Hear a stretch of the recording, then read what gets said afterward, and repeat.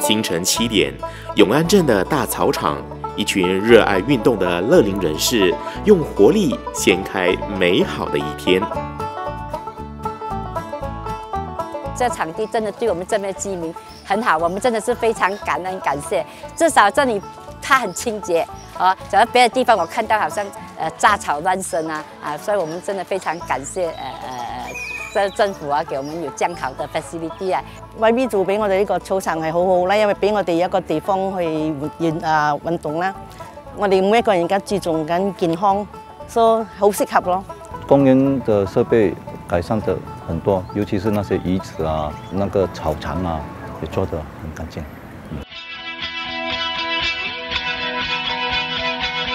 当太阳逐渐往另一端落下的时候，这个大草场的主角换成了身手矫健的年轻人。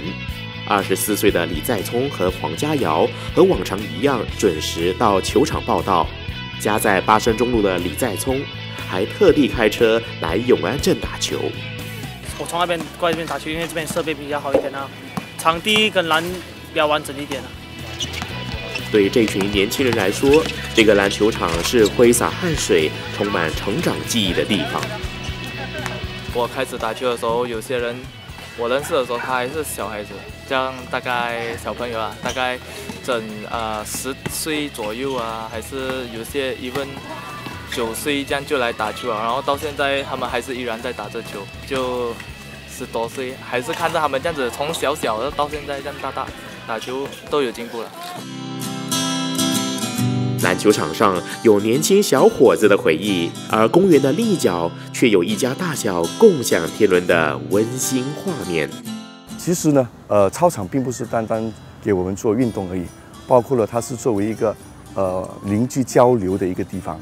呃，特别是傍晚的时候，大家呃把小孩子带出来，呃，游乐也好，啊，运动也好，呃，邻邻居就有一个场合。一个时间呢，大家一起交流。呃，对于促进睦邻这方面呢，也起到非常积极的作用。这一幅幅和乐融融的景象，是在双溪槟榔周选区服务超过十年的邓章清费尽心力所希望看到的成果。创造和维持一个美丽家园，需要大家的努力。邓章清集合大家的力量，一起实现了这个梦想。